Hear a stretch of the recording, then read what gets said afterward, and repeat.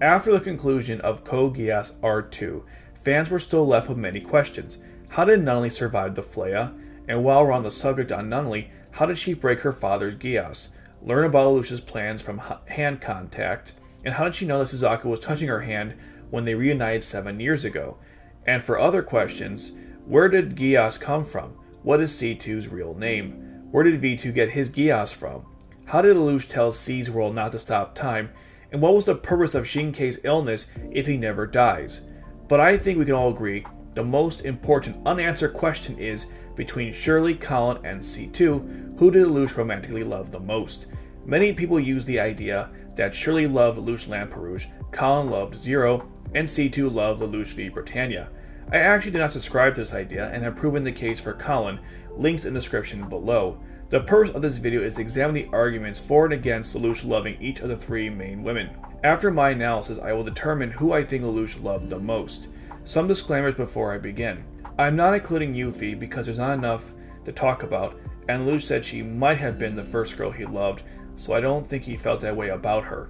I won't talk about Kaguya either because of all the possible romantic relationships in this story, this one is one sided, that even Kaguya thanks Kallen and C2 for keeping Zero company. She even went as far to suggest that Zero has needs, and these women can take on those needs.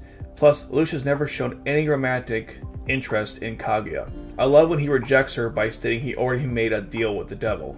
Also, there will be heavy spoilers, and this is the most important. This is just my opinion on how I interpret the plot. So if my opinion is different from yours, that does not mean your ship has no validity. And I personally ship Count and Lelouch and C2 with Lelouch. But for this video, I try to keep my biases out and just look at what the series gives us. Also, this analysis will come from R1 and R2 because in the alternative universe, they make it pretty clear who Lelouch loves the most. Not all tasks have been cleared, let's begin. We will first start with Shirley, and if Lelouch loved her or not, by going through first the arguments for. We know that Lelouch cared for her, and he demonstrated this when he erased her memories. He did this because he was following the advice of C2 to keep those you care about at a distance. After he does this, Lelouch shares a conversation with Shirley where they talk about the fact that he might have loved Shirley at one point, but right now only acknowledges that losing her in his life was a real blow. He never realized what he had until it was gone. It reminds me of Al Pacino's Inches speech from Any Given Sunday, where he said, you know, when you get old in life, things get taken from you. That's part of life. But you only learn that when you start losing stuff. And I think Lelouch experienced that phenomenon in that scene. Lelouch's reaction in both times when Cho is affected by Geass could be a sign that he loves her. The two I'm referring to is when Mao read her mind and when Rollo killed her. In both cases, Lelouch became enraged and blamed Geass. And the only other time we see this level of emotion is when something bad happens to Nunnally. This could be proof of his love, since Lelouch would not act that way if he did not have feelings for her. Heck, even his outpour of tears when she died really demonstrated that he might have had seen her more as a friend and he could have had real feelings for her. However, when looking through the plot, there aren't many examples beyond what I've mentioned where Lelouch shows he might have interest in Shirley, which is why we're going to now go to the cons, and one of the cons is kind of related to this point. Let's start with the scene in R2 where Shirley panics and jumps off the roof of the building that Lelouch and Zaku were on. Keep in mind, this is right after she got her memories back. Lelouch grabs onto her arm, and Suzaku grabs his leg.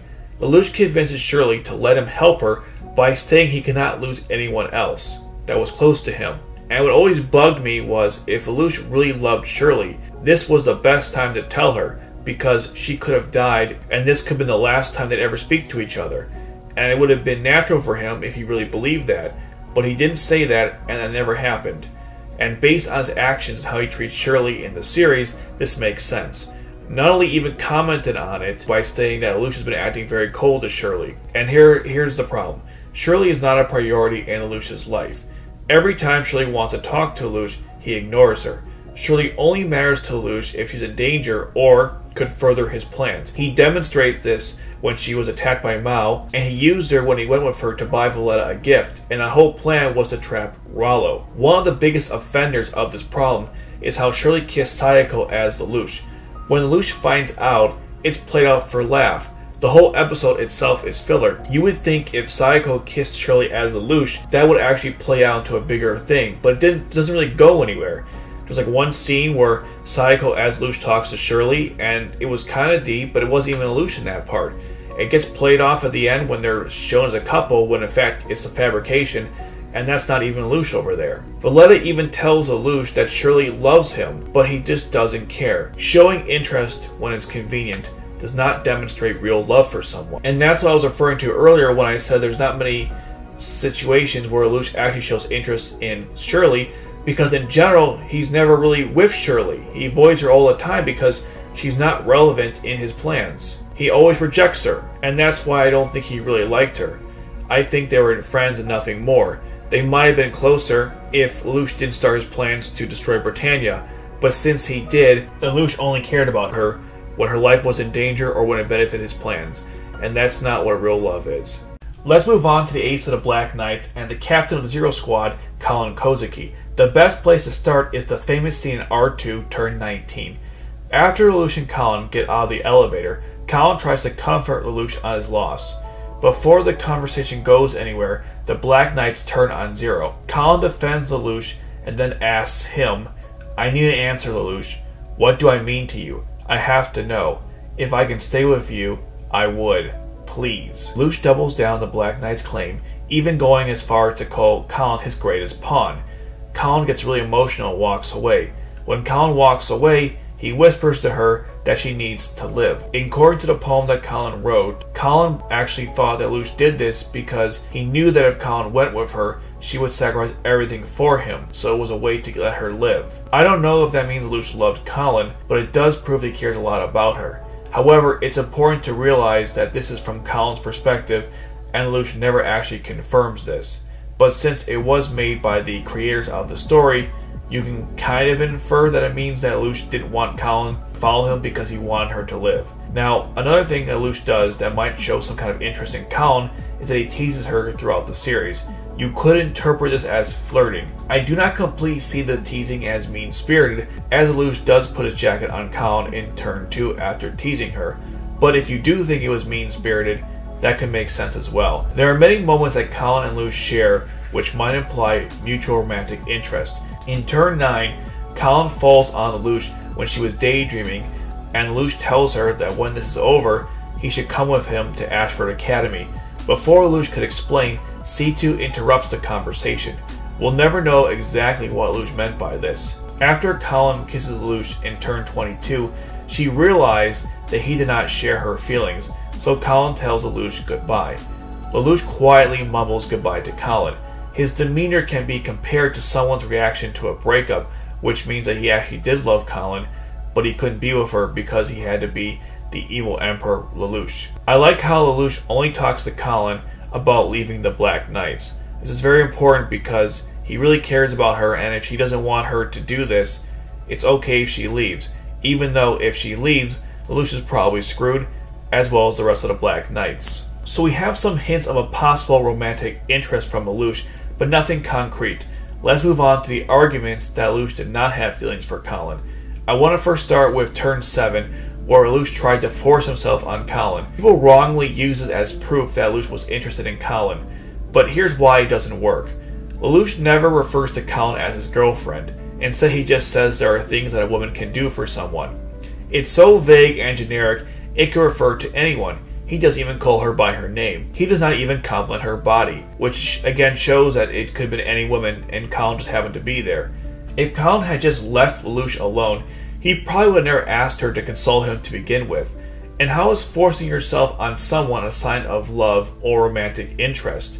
It's also important to point out that Lelouch never brings up again with Kallen. If Lelouch was declaring his feelings for Kallen in that scene, then there should have been some kind of follow up, but again, it never happens. It just seems to me that Lelouch saw Kallen as his ace pilot and never cared for her as a person. For example, he never asks Kallen or talks to her about her mother or brother. And this doesn't make any sense because he learns about her mother being addicted to refrain early on in the series. But the way Lelouch handled Kallen's rescue is what convinced me that he was not in love with Kallen. Lelouch declared he would rescue Kallen in turn 10 but he never states when. There's even a part where he tells C2 that he needs to do something else first. Lelouch abandoned the Black Knights to save Nunnally, even though it was a huge mistake and cost them the battle and almost the war. So if Kallen was that important to him, he would have immediately gone to rescue her. She just wasn't a priority. Even in the mission to rescue Nunnally in turn 18, Kallen was labeled as priority 3. If Nunnally was not even in the Bureau, I wonder how much longer Lelouch would have taken to save Kallen. Here are some other important things to keep in mind. Kallen was not important enough to mention when Lelouch was stating the objectives during that battle. None of the Black Knights, either in Psycho, even mentioned rescuing Kallen at all. Lelouch never asked for updates on the progress to save Kallen during the whole operation. After the flare was launched, Lelouch never asked about Kallen. He only asked about Nunnally. If Kallen really mattered to him, don't you think he would have contacted her?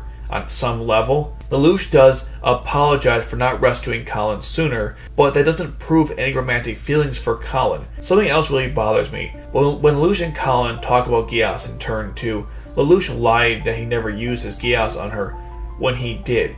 He should have told her the truth. In the end, Lelouch never opened up to her, aside from a few instances, and never showed any romantic interest for her. This might have been excusable in R1 when Kallen didn't know his identity, but once they both knew each other's identity, there's no reason why Lelouch could not have opened up to her. Despite Kallen even falling in love with the real Lelouch and kissing him, he still didn't show any mutual interest. So Lelouch respected Kallen as a friend, ally and his most powerful piece to deploy in the battlefield. But there's not much evidence beyond that that he ever saw her as a love interest, just a good friend. Let's move on to the last possible love interest, the mysterious C2, and the last of the three women to go over. There are numerous examples that proved that Lelouch had possible romantic feelings for C2, and I thought it would be a good idea to start with the best one. In turn 24, C2 was talking to Lelouch about if she ruined his life by giving him Geass. Lelouch, instead of blaming her, thanks her for the Geass. C2 then says that all my life I have never met a man quite like you. Lelouch starts to approach her and says C2. Given the tone and how Lelouch was moving towards her, if Kallen had not interfered, then these two would have hugged and possibly kissed. Compare this to Shirley or Kallen, we have never seen Lelouch ever approach either one of them in this manner. I mentioned how Lelouch teased Kallen throughout Geass, and well, he does the same with C2. With C2, it was more playful. You can infer this from the expression that both C2 and Lelouch make after the insults. It's very reminiscent of playful flirting. The teasing is not one sided, as C2 gives Lelouch as much as he gives it to her. I mentioned already that Lelouch does not open up to Kallen or Shirley much in Geass. Lelouch has shared his plans, concerns, insecurities, and setbacks to C2. They have had so many debates on life, and C2 is the only one who gives Lelouch the feedback that he really needs. She gets him on track and keeps him going. Kallen was just a follower in Lelouch's eyes, and surely a good friend, but neither could fill this need for him. With C2, Lelouch had found someone who's an actual partner. They both help each other out and fulfill each other's needs. Every time Lelouch needs comfort or advice, C2 is the one he goes to. My favorite example being he went to her after what happened to Yuffie in the specially administrative zone of Japan. Lelouch also cares a lot about C2, and it's adorable that even though he knows C2 can't die, he still tells her to be safe on many missions. I can't remember one time where he tells Kallen to be safe before going to battle, or Shirley before a swim meet. You just don't see Lelouch interact with Kallen and Shirley in the same way as C2. One final note I want to mention. When C2 leaves Lelouch,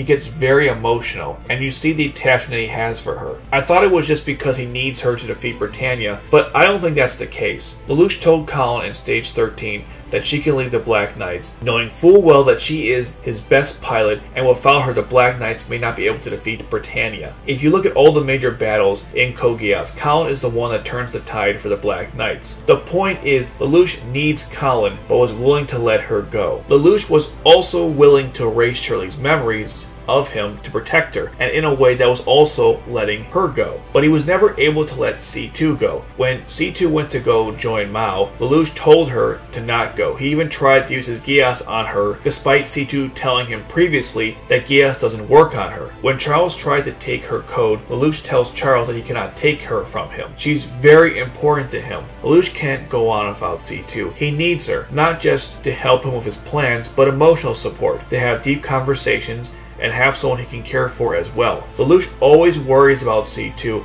and takes care of her, even when she lost her memory and was no longer the C2 he knew. It's truly something to see these two develop within Code Geass. Now, you probably already know who I think Lelouch loves, but in all fairness, let's discuss why Lelouch may not be in love with C2. It's possible that Lelouch only cared for C2 because he needs her help. Lelouch has also expressed his anger towards C2 with the Geass contracts that she gives out. He even called her a monster. Beyond that, even if everything I just mentioned before is in fact true, it doesn't mean that Lelouch loves her as a romantic partner. It could be on the same level as a sibling or a parent. Remember, Lelouch lost his mother at a young age and was forced to live in Japan with just Nunnally. Sure, he had to grow up fast, but you can see he does not have a parent-like figure in his life. You can easily interpret C2 as a mother figure for Lelouch or a mentor, someone who Lelouch can go to and learn from. C2 early on would insult Lelouch and challenge him, not in the way of a lover, but more of a mentor, and Lelouch would respond with trying to get better and to move on. So I can see this being the nature of their relationship, but as you can already figure out, with everything I've gone over, the winner for me is C2. Lelouch goes to C2 for help and advice, as well as emotional support. They both love to tease each other, and Lelouch almost declared his love for her towards the end of the series. Considering how little time the story spent on Shirley and Lelouch's relationship with her, I wish they just made her a minor character in the story. It's possible that if Shirley had more time to develop, and maybe the story focused more on her, maybe Lelouch would have had more time to declare his love. Because she's just so irrelevant to the story, it's hard for me to, to even like look at them as a possible couple, especially Lelouch loving her. And with Kallen, Lelouch never saw her in that way. I kind of wish they made an OVA where Lelouch declared his love for each of the three girls, much like how Clannad did that in their OVAs. But from what we got, I think C2 is the one that Lelouch loved the most. Thanks for watching. If you want more videos like this one, please like and share this video. If you want more Geass content and do not want to wait for videos to come out, then please check out my blog. I upload new articles every week, usually on a Thursday, on given topics like Code Geass. I just finished an update to my anime streaming guide and will leave a link in the description box below. But now I ask you, who do you think Lelouch loved among C2, Shirley, and Kallen? Let me know in the comment section below. Thanks for watching and have a great day.